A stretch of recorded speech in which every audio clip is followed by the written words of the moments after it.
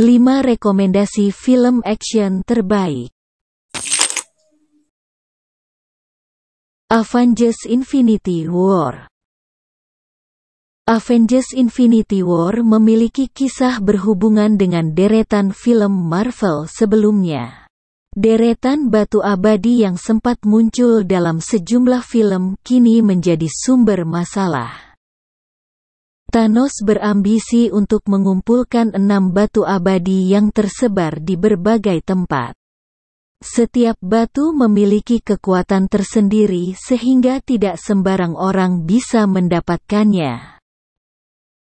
Jika sudah memiliki keenam batu abadi, Tano bisa menjadi penguasa semesta.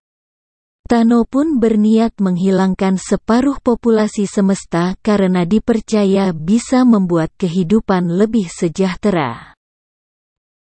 Demi mengalahkan Thanos, para Avengers akan mengorbankan apa saja demi mencegah sang villain untuk mendapatkan keinginannya.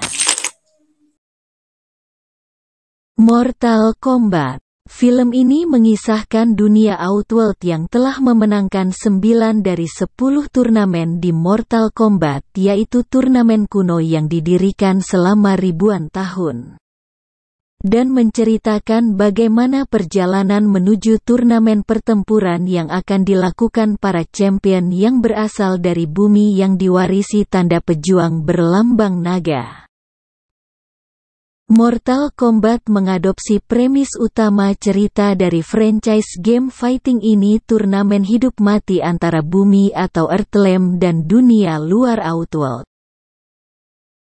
Bedanya, kali ini ada karakter orisinal yang belum pernah ada di seri Mortal Kombat yaitu Cole Young.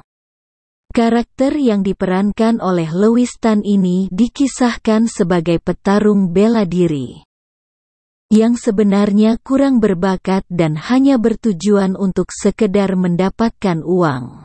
Tetapi hidupnya berubah setelah bertemu seseorang bernama Jax yang memberitahu tentang tanda lahir yang ia punya. Bahwa Cole adalah petarung terpilih mewakili bumi untuk mengikuti turnamen Mortal Kombat dan petarung lainnya yang sama-sama memiliki simbol naga dan sama-sama bertujuan melindungi Earthrealm yaitu Ko, Jax, Sonya, Liu Kang, Kung Lao, dan Raiden si Dewa Petir. Mereka bersama bertarung melawan Sangsung, Sub-Zero dan prajuritnya yang ingin menghancurkan pasukan Earthrealm. Semua rentetan pertarungan para prajurit Outworld dan Earthrealm ditutup dengan pertarungan antara Sub-Zero dan Cole yang dibantu dengan Hanzo Hasashi atau Scorpion. Hal itu didukung penampilan Yota Slim sebagai Sub-Zero dan Hiroyuki Sanada sebagai Scorpion yang mampu bertarung jarak dekat dengan baik.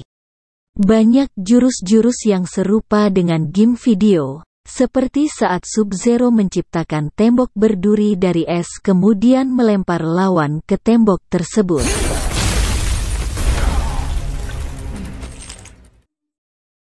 Aquaman Film ini menceritakan seorang anak bernama Arthur yaitu anak dari penjaga mercusuar dan seorang ratu Atlantis yang berasal dari dalam laut. Sejak kecil ia sudah bersahabat dengan hewan laut. Kelebihannya membuat dia jadi berbeda dengan teman-teman seusianya. Dan setelah Arthur besar ia harus bertarung melawan adiknya sendiri untuk mengambil kekuasaan kerajaan Atlantis bahwa ia lebih pantas jadi raja ketimbang adiknya Raja Orem.